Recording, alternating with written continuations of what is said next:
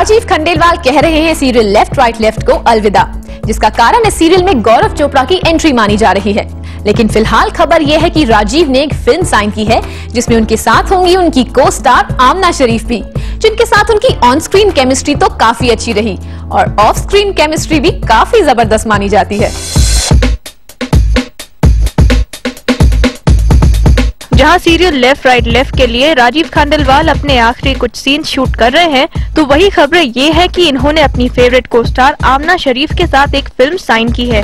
लेकिन फ़िलहाल राजीव इस बात से पर्दे को उठाना नहीं चाहते। मैंने और आमना ने अभी तक कोई फ़िल्म साइन नहीं की है।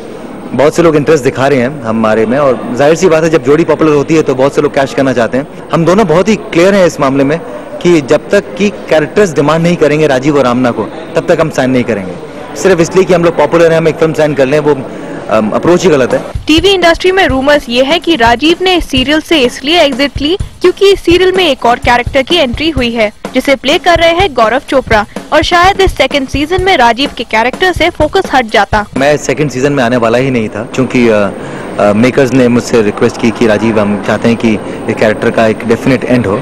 जिसकी वजह से मैं अभी तक शूट कर रहा हूँ। जब मैंने गौरव के साथ काम करना शुरू किया तो मुझे लगा कि थोड़ा पहले आ गया होता गौरव तो अच्छा लगता। और वो कैरेक्टर बनाया भी इसी तरह से गया कि मेरा बचपन का दोस्त था और अनफॉर्चुनेट बात यह कि मेरा कैरेक्टर खत्म होने वाला है, इसलिए मैं जा रहा हूँ। तो इन दो बातों का लिंक करना बहुत ही बेबुनियादी है और ये सिर्फ़ एक से दूसरी बात निकालने के चक्कर में कुछ जो भी अफवाहें उड़ा रहे हैं लोग तो उड़ाएँगे, क्योंकि हम आज स्टार हैं और बिकते हैं तो जब तक हम बिकेंगे तब तक लोग खबरें बनाते रहेंगे। माना यह जाता है कि ये सीरियल भी राजीव के लिए वैसा स्टेपिंग स्टोन साबित होगा जैसे शाहरुख खान के लिए सीरियल फौजी हुआ था।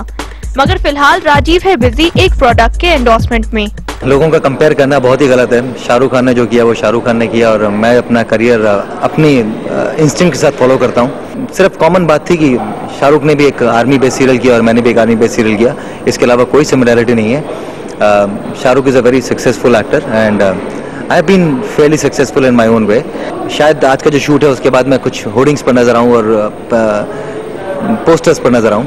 अब फौजी का किरदार शाहरुख की तरह राजीव को भी स्टार बनाता है कि नहीं, ये तो बाद में पता चल ही जाएगा। मगर कम से कम पहले पर्दे पर उनके आने के सपने को तो पूरा कर ही गया। फगोहर पीर ज़्यादा जूम मुंबई।